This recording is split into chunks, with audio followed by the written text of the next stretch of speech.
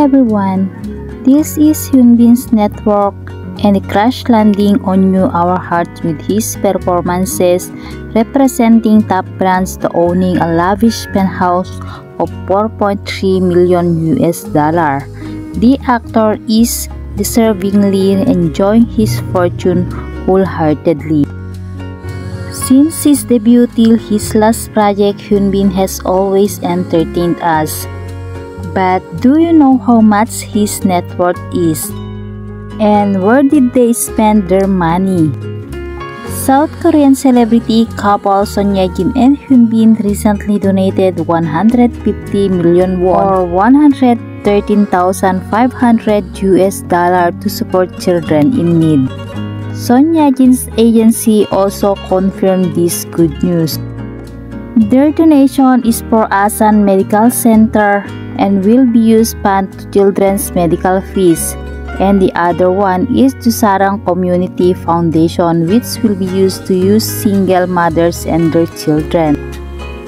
Hyunbin has an impressive network with all the paychecks and brands endorsement, investment, and well marrying of the top South Korean actress Son Ye-jin. According to Economic Times, Hyunbin's estimated net value is 21 million US dollar and after combining his and Son Ye-jin's network, it stands at 41 million US dollar.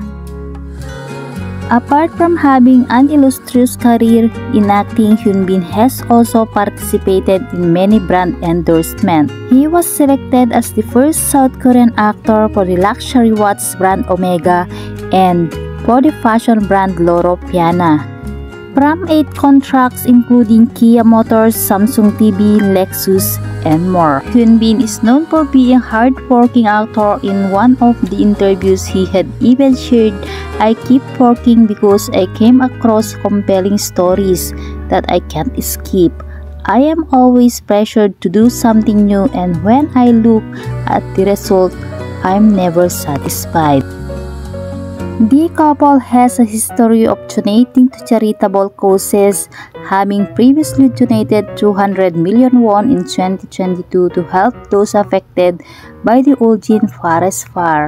Son Ye-jin and Hyunbin married on March 31, 2022 after starring in the hit drama Crash Landing on You and they welcomed their first child in November that year.